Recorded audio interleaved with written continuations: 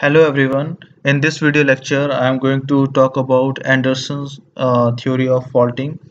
Anderson gave the classification of fault based on uh, the orientation of maximum, minimum, and intermediate principal stress axis, and uh, it is valid uh, even at present.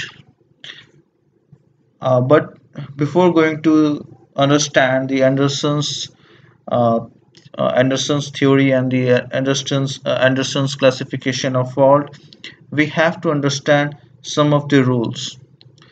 Rule number one: fault plane must pass through the principal axis of intermediate stress. Rule number two: fault plane must exhibit angle of 30 degree with respect to principal axis of maximum stress. Rule number 3 Displacement should be perpendicular to the principal axis of intermediate stress.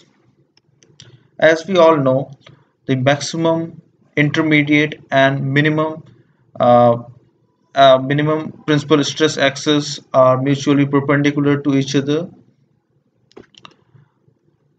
and uh, I am representing the uh, in this case I am representing the uh, max principal axis of uh, maximum stress with a red color that is sigma 1 intermediate principal stress axis with green color that is sigma 2 and principal stress axis uh, the minimum principal stress axis with uh, blue color sigma 3 okay so these are mutually as you can see these are mutually uh, perpendicular to each other.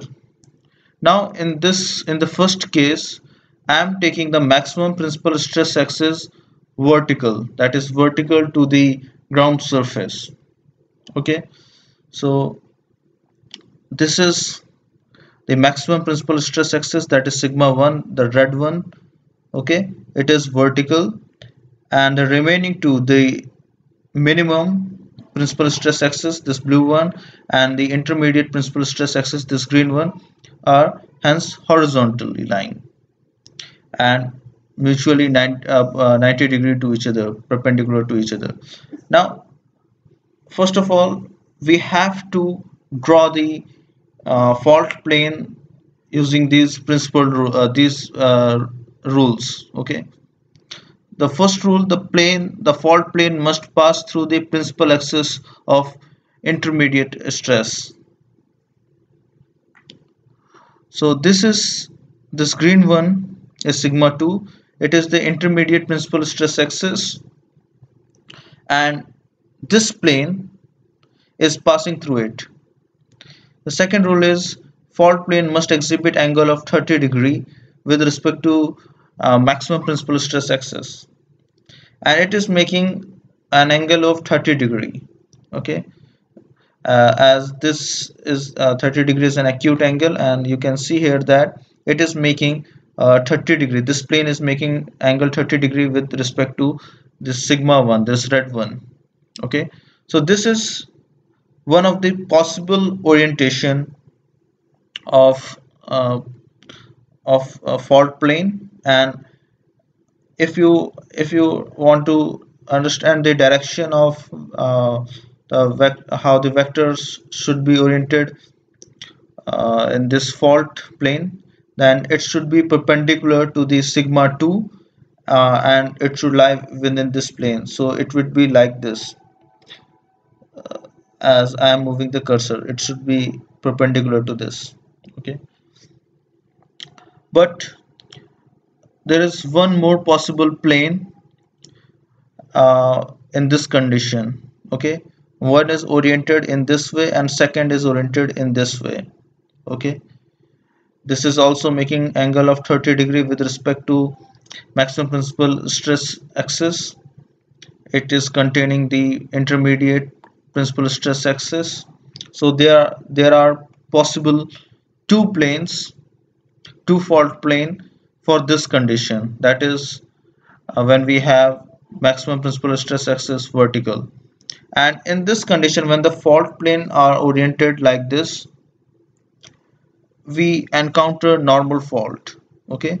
So this is the same condition. This is sigma 1 sigma 3 and sigma 2 horizontal. Sigma 1 is vertical. And these are the two planes two fault plane uh, two possible fault plane. And they are making 30 degree angle with respect to sigma 1 okay? And here we can see it is forming the normal fault.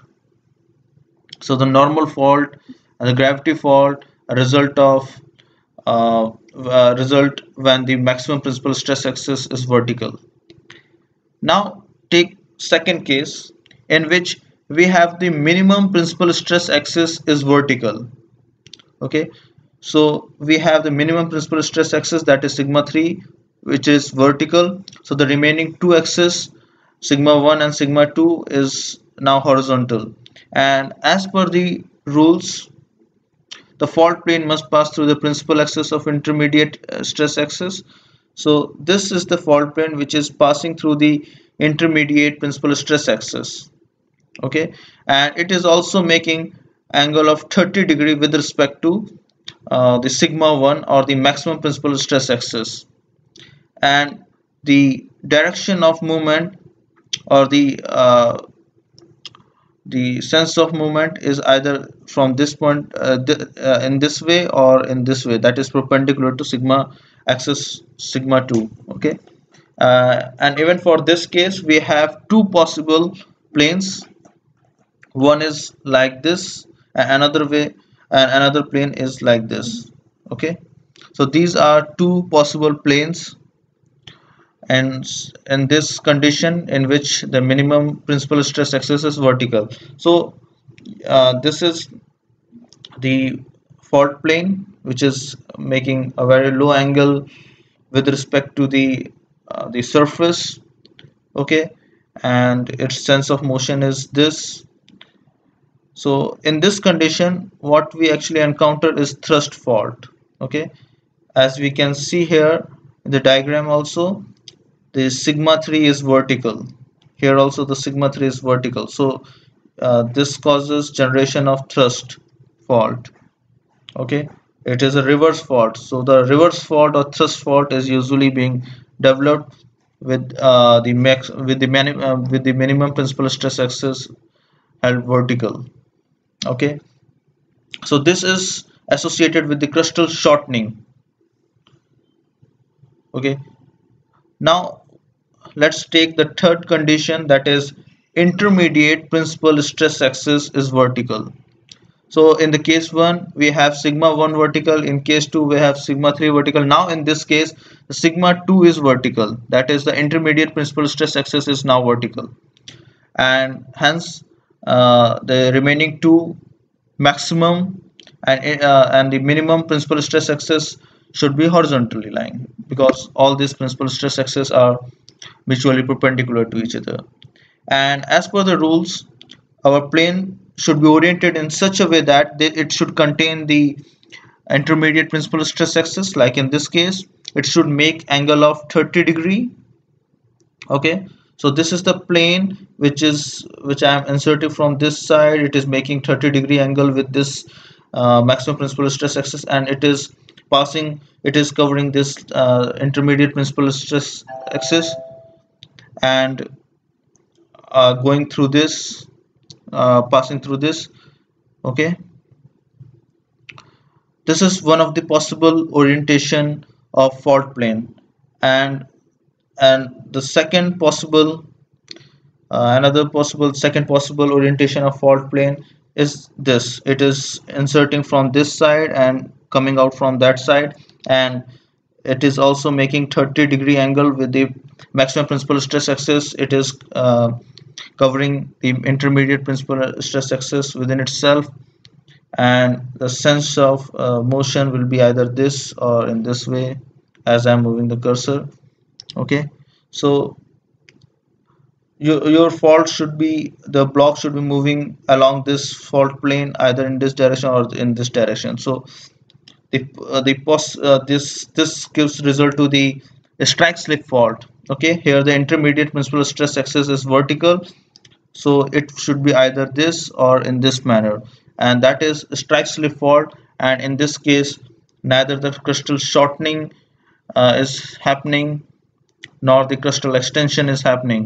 So there is no uh, neither crustal no no more crust is forming no crust is being consumed. It is just a Strike-Slip fault. Okay? And that can be explained by the uh, by the orientation of intermediate principal stress axis. So this is a very simple representation of Anderson classification of fault or